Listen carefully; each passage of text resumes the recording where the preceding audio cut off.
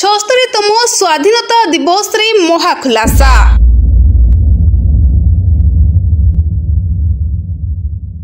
ଦୁଃଖ ଦୁର୍ଦ୍ଦଶାରେ କଟୁଛି ଏହି ଆଦିବାସୀଙ୍କ ଜୀବନ।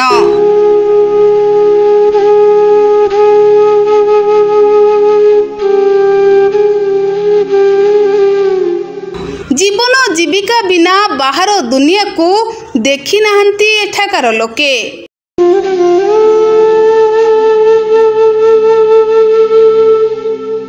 ପ୍ରଭୁ ଜଗନ୍ନାଥ ହିଁ କେବଳ ସାହା ଭରସା ଆଉ ଏକ ନଗଡ଼ର ଭ୍ରମ ସୃଷ୍ଟି କରୁଛି ଆଠଗଡ଼ର ଏହି ଆଦିବାସୀ ଅଧ୍ୟୁଷିତ ଗାଁ। ସ୍ୱାଧୀନତାର ପଞ୍ଚସ୍ତରୀ ବର୍ଷ ପରେ ମଧ୍ୟ ଏଠାରେ ପଡ଼ିନି କୌଣସି ନେତାଙ୍କ ପାଦ। ତଥାପି ଭୋଟ ଦେଇ ନିର୍ବାଚିତ କରୁଛନ୍ତି ବିଧାୟକ ସରପଞ୍ଚମାନଙ୍କୁ। ଏତିକି ଦୁଃଖ ଯେ ଏହି ନିରୀହ ଲୋକମାନେ ନବୀନ ବାବୁଙ୍କୁ ଭଲ ପାଆନ୍ତି। ତାଙ୍କର ପ୍ରିୟ ମୁଖ୍ୟମନ୍ତ୍ରୀଙ୍କ ନାଁ ଶୁଣିଲେ ଏମାନେ ଖୁସି ହୁଅନ୍ତି। ଆଉ ସେତିକିରେ ସନ୍ତୁଷ୍ଟ ହୋଇ ନିଜର ଜୀବନ ଜୀବିକା ପ୍ରତି ଧ୍ୟାନ ଦିଅନ୍ତି। ସ୍ୱାଧୀନତା ଦିବସ କ'ଣ ଜାଣିନାହାନ୍ତି କି ଅଗଷ୍ଟ ପନ୍ଦର କ'ଣ ସେମାନେ ବୁଝିନାହାନ୍ତି। ଆପଣମାନେ ଭାବୁଥିବେ ସ୍ୱାଧୀନତା ଦିବସ କ'ଣ? ଅଗଷ୍ଟ ପନ୍ଦର କ'ଣ ଜାଣିନଥିବା ଲୋକମାନେ ତ୍ରିରଙ୍ଗା ଧରି କ'ଣ କରୁଛନ୍ତି? ଆଗକୁ ନିଶ୍ଚୟ ଜାଣିବେ ମହାନ ବ୍ୟକ୍ତିତ୍ୱଙ୍କୁ ଆଜ୍ଞା। ଯିଏ ଆଜି ଏହି ଆଦିବାସୀଙ୍କ ମୁହଁ ମିଠା କରିବା ସହ ସ୍ୱାଧୀନତା କ'ଣ ଓ ଅଗଷ୍ଟ ପନ୍ଦର କ'ଣ ବୁଝାଇଥିଲେ ତେବେ ଏଠାକାର ଶିକ୍ଷା ଓ ସ୍ୱାସ୍ଥ୍ୟ କଥା ନ କହିବା ଭଲ। ଆପଣମାନେ ସେହି ଆଦିବାସୀଙ୍କ ମୁହଁରୁ ନିଶ୍ଚିନ୍ତ ଶୁଣିବେ।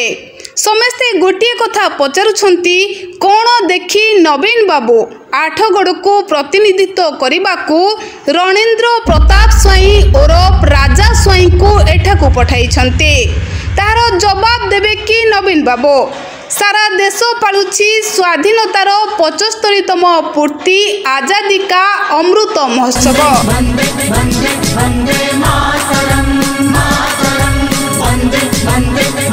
ସମସ୍ତେ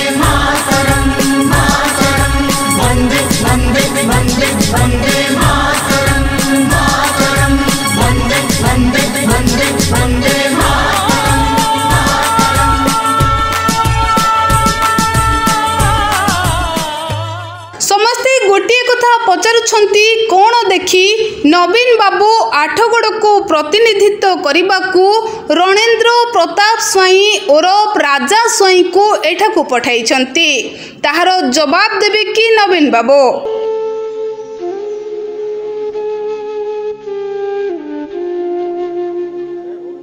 ସାରା ଦେଶ ପାଳୁଛି ଆଜ୍ଞା ସ୍ୱାଧୀନତାର ପଞ୍ଚସ୍ତରୀତମ ପୂର୍ତ୍ତି ଆଜାଦି କା ଅମୃତ ମହୋତ୍ସବ। ହେଲେ ଏମାନେ ନା ଆଜାଦି ନା ଅମୃତ କିଛି ବି ଜାଣିନାହାନ୍ତି। ବିଡ଼ମ୍ବନାର କାରଣ ସ୍ଥାନୀୟ ବିଧାୟକ ତଥା ଓଡ଼ିଶାର ପାୱାରଫୁଲ୍ ମନ୍ତ୍ରୀ ରାଜା ସ୍ୱାଇଁ ଆଠଗଡ଼କୁ ତିନି ଦଶନ୍ଧି ହେଲା ଶାସନ କରି ଆସୁଛନ୍ତି କିନ୍ତୁ ଗୋଟାଏ ବି ଦିନ ଏହି ଗାଁରେ ପାଦ ପଡ଼ିନି। ଏଠାକାର ଲୋକେ ତାଙ୍କ ବିଧାୟକଙ୍କୁ ଭୋଟ ଦିଅନ୍ତି ସତ ହେଲେ ତାଙ୍କ ଦର୍ଶନ ବି ପାଆନ୍ତି ନାହିଁ। ମତେ ତ ଲୋକ ତିରିଶ ବର୍ଷ ପାଇଁ ଭୋଟ ଦେଇଛନ୍ତି। ଯୋଉ ଭୋଟର ଋଣ ମୁଁ ସୁଝି ପାରିବି ନାହିଁ ଯଦି ମୋ କୋକେଇ ବନ୍ଧା ହବା ଯାକେ ମୁଁ କାମ କରେ କାମ କଲେ ମଧ୍ୟ ଋଣ ସୁଝି ହବନି। କାରଣ ମୋ ବାପା ମତେ ଏମଏଲଏ କରିନଥିଲା। ମତେ ଏଇ ମା ମାନେ ଯୋଉମାନେ ସାମ୍ନାରେ ବସିଛନ୍ତି ଏଇ ବାପା ମାନେ ଏ ଭାଇ ମାନେ ଯୋଉମାନେ ବସିଛନ୍ତି ସେମାନେ ଅନ୍ଧାର ଘରେ ବିଶ୍ୱାସ ଦେଇ ବିଶ୍ୱାସ ନେଇ ମତେ ନେତା କରିଛନ୍ତି। ମୁଁ ତାଙ୍କର ଅଜାଣତରେ ତାଙ୍କ ଅବର୍ତ୍ତମାନରେ ସେ ଶୋଇଥିଲା ବେଳେ ଯଦି ତାଙ୍କ ପାଇଁ କାମ ନ କରିବି ତେବେ ମୋ ମନ ସନ୍ତୁଷ୍ଟ ହବ ନାହିଁ। ମୋ ଚରିତ୍ର କଣ? ସେଟା ତ ଖୋଲା ବହି।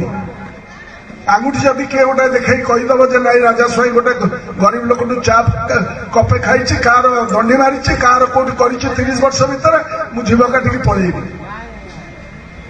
କିନ୍ତୁ ଯଦି ଆମେ ଖଟୁଛୁ ଆମ ସାଙ୍ଗରେ କାନ୍ଦକୁ କାନ୍ଦ ମିଠେଇ ମିଶେଇକିନା ଯଦି ନୂଆ ପିଲାମାନେ ନ ବାହାରିବେ ତେବେ ଆମେ ଗରିବ ମୁହ ମୁହଁରୁ ଏବଂ ଆଖିରୁ ଲୁହ ପୋଛିବା କେମିତି? କରିବେ? ମୁଁ ମିଛ କହୁନି ଆଜ୍ଞା ଲୋକମାନେ କହୁଛନ୍ତି କଣ ରାସ୍ତା ପାଇଁ ଆପଣ କହିଥିଲେ? ବିଧାୟକ କହିଥିଲେ କିନ୍ତୁ ରାସ୍ତା କରୁନାହାନ୍ତି। ଆପଣ ନିଜେ ଶୁଣନ୍ତୁ। ତେଣୁ ମୁଁ ଆପଣଙ୍କୁ ନିବେଦନ କରୁଛି ମାନ୍ୟବର ବିଧାୟକ କୃଷି ମନ୍ତ୍ରୀ ରାଜା ଭାଇ ପୁନର୍ବାର ହାତ ଯୋଡୁଛି। ଏଭଳି ଗରିବ ଲୋକମାନଙ୍କ କଥା ଶୁଣନ୍ତୁ ବାହାସ୍ପଟି ଗପ ମାରନ୍ତୁ ନାହିଁ। କାର୍ଯ୍ୟରେ କରି ଦେଖାନ୍ତୁ ମିଛ ଗପନ୍ତୁ ନାହିଁ ମୁଁ ଆଠ ଗଡ଼କୁ ଏକ ନମ୍ବର କରୁଛନ୍ତି। କେବଳ ଆପଣ ହରିଲୁଟ୍ କରିବାର ଏକ ନମ୍ବର ପଇସା ବାଟମାରଣି କରିବାର ଏକ ନମ୍ବର ମାମୁଁ ଭଣଜା ମିଶି ଯେଉଁଭଳି ଭାବରେ ଆପଣ ଦୁର୍ନୀତି କରୁଛନ୍ତି ତା ବିରୁଦ୍ଧରେ ଦୃଢ଼ କାର୍ଯ୍ୟାନୁଷ୍ଠାନ ନିଆଯିବ। ପୁନର୍ବାର ନିବର୍ତ୍ତନ କରୁଛି ରାଜା ଭାଇ। ବର୍ତ୍ତମାନ ସର୍ବଶେଷରେ ଆପଣଙ୍କୁ ସମସ୍ତେ ଅନୁରୋଧ କରୁଛୁ ଆଜ୍ଞା ହାତ ଜଣନ୍ତୁ ଟିକେ ରାଜା ଭାଇକି। ରାଜା ଭାଇକି ହାତ ଯୋଡ଼ୁଛୁ ସମସ୍ତେ ଆଜ୍ଞା। ତାଙ୍କର ତୁରନ୍ତ ଏ ପୋଲଟିଏ କରନ୍ତୁ ମୁଁ ଆପଣଙ୍କୁ ନିବେଦନ କରୁଛି ମୁଣ୍ଡିଆ ମାରୁଛୁ ସମସ୍ତେ ଆଜ୍ଞା ଆମେ। ନିଜର ନିତ୍ୟ ବ୍ୟବହାର୍ଯ୍ୟ ସାମଗ୍ରୀ ପାଇଁ ଯେଉଁ ରାସ୍ତା ଦେଇ ଯାଆନ୍ତି ତାହାକୁ ଆପଣମାନେ ଦେଖି ନିଅନ୍ତୁ।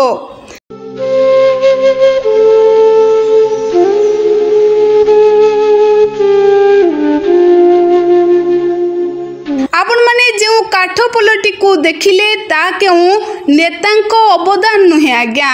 ଏଠାକାର ଲୋକମାନେ ନିଜସ୍ୱ ଉଦ୍ୟମରେ ଏହି ପୋଲଟିକୁ ତିଆରି କରିଛନ୍ତି। ଗର୍ଭବତୀ ମହିଳା କିମ୍ବା ଗୁରୁତର ରୋଗୀଙ୍କ ପାଇଁ କେବଳ ଖଟିଆ ହିଁ ସାଜେ ସାହା ଭରସା କାରଣ ଏହି ଜାଗାକୁ ଆମ୍ବୁଲାନ୍ସ ଆସିବାକୁ ଭୟ କରେ। ସ୍ୱାଧୀନତାର ଛଅସ୍ତରୀ ବର୍ଷରେ ଆଠଗଡ଼ର ଯୁବ ସଂଗଠକ ତଥା ସମାଜସେବୀ ଅଭୟ ବାରିଙ୍କୁ ପାଖରେ ପାଇ ନିଜର ଦୁଃଖକୁ ବଖାଣିଥିଲେ ଏହି ଆଦିବାସୀମାନେ। ଶୁଣନ୍ତୁ କ'ଣ କହୁଛନ୍ତି ଅଭୟ। ବର୍ତ୍ତମାନ ଏବେ ଚାଲିଛି ଆମର ଛଅସ୍ତରୀତମ ସ୍ୱାଧୀନତା ଦିବସ ପାଳନ କରୁଛନ୍ତି ସାରା ଦେଶରେ। ଏବଂ ମୁଁ ଆଠଗଡ଼ ତିଗିରିଆ ନିର୍ବାଚନ ମଣ୍ଡଳୀର କଣ୍ଡରେଇ ପଞ୍ଚାୟତରେ ଥିଲା ରାଧିକା ପାଚିକା ଗାଁ। କିନ୍ତୁ ଏବେ ରାଧାକୃଷ୍ଣପୁର ରାଧାକୃଷ୍ଣପୁର ପଞ୍ଚାୟତରେ ଆସୁଛି ରାଧିକା ପାଚିକା ଗାଁ। ଏ ଗାଁରେ ଯେତେବେଳେ ମୁଁ ଆସିଲି ବର୍ତ୍ତମାନ କାଦୁଅ ପୋଲୋ ଏବଂ କାଠ ପୋଲ ଯେଉଁମାନେ ଏମାନେ ମୋତେ ଯାହା କହୁଥିଲେ ଭଉଣୀମାନେ କହୁଥିଲେ କାଠ ପୋଲ ଏମାନେ ନିଜେ ଜଙ୍ଗଲରୁ କାଠ କାଟିକି ଆଣିକି ପୋଲ ତିଆରି କରିଛନ୍ତି। ଭାରି ଦୁଃଖ ପରିତାପର ବିଷୟ। ଛଅସ୍ତରୀତମ ସ୍ୱାଧୀନତା ଦିବସ ପାଳନ କରୁଛନ୍ତି। ଏଠିକାର ସ୍ଥାନୀୟ ବିଧାୟକ ଏବେକାର ଯିଏ ଅଛନ୍ତି କୃଷିମନ୍ତ୍ରୀ ରଣେନ୍ଦ୍ର ପ୍ରତାପ ସ୍ୱାଇଁ ସବୁବେଳେ ବାହାସ୍ପଟ ମାରୁଛନ୍ତି। ଯେ ମୁଁ ଆଠଗଡ଼କୁ ଏକ ନମ୍ବର କରିଛି ମୋ ବାପା ମୋତେ ଏମ୍ ଏଲ୍ କରିନାହାନ୍ତି ଆଠଗଡ଼ ବାସୀ ତିଗିରିଆ ବାସୀ ମୋତେ ଏମ୍ ଏଲ୍ କରିଛନ୍ତି। ଇଏ ତାର ହେଉଛି ନଗ୍ନ। ନଗ୍ନ ନମୁନା ହେଉଛି ଯେ ଏଠିକାର ଲୋକମାନେ ସାଧାରଣତଃ ଦୁଃଖରେ ବ- ଗତିବାସ କରୁଛନ୍ତି ଦୁଃଖରେ ବ- ବାସ କରୁଛନ୍ତି। ଏବଂ ଏ ଗାଁକୁ ଆସିବା ପାଇଁ ରାସ୍ତା ନାହିଁ। ସାଧାରଣତଃ ଗୋଟେ ପୋଲ କରିବା ପାଇଁ ଚାରିରୁ ପାଞ୍ଚ ଲକ୍ଷ ଟଙ୍କା ଖର୍ଚ୍ଚ ହେବ। କିନ୍ତୁ ନିଜେ ବିଧାୟକ ବାହାସ୍ପଟ ଖାଲି ଗପ ଗପୁଛନ୍ତି। କିନ୍ତୁ କାମରେ କରିକି ଦେଖାଉନାହାନ୍ତି। ଖାଲି ଗପ ଏବଂ କଥା ଅଧିକା କହୁଛନ୍ତି। ମୁଁ କହିବାକୁ ଚାହେଁ ଯେଉଁଭଳି ଭାବରେ ଏମାନେ ବସବାସ କରୁଛନ୍ତି ଜଙ୍ଗଲ ଏରିଆ ମାତ୍ର ଏଠୁ ଖୁଣ୍ଟୁଣି ହେଉଛି ତିନିରୁ ପାଞ୍ଚ କିଲୋମିଟର ହେବ ଖୁଣ୍ଟୁଣି ବା ସାତ କିଲୋମିଟର ଭିତରେ ହେବ। କିନ୍ତୁ ଦୁଃଖ ପରିତାପର ବିଷୟ ଖୁଣ୍ଟୁଣିରୁ ସାତ କିଲୋମିଟର ଦଶ କିଲୋମିଟର ଭିତରେ ରାସ୍ତା ହେବ। କିନ୍ତୁ ଏଠି ଠିକ୍ ଭାବରେ ଲୋକମାନେ ତେବେ ରାଜା ସ୍ୱାଇଁଙ୍କ ନିର୍ବାଚନ ମଣ୍ଡଳୀରେ ଏହି ନଗଡ଼ର ସମସ୍ୟାକୁ ଆଗକୁ କିଏ ସମାଧାନ କରୁଛି ତାହା ଦେଖିବାକୁ ବାକି ରହିଲା। Bureau report BNS news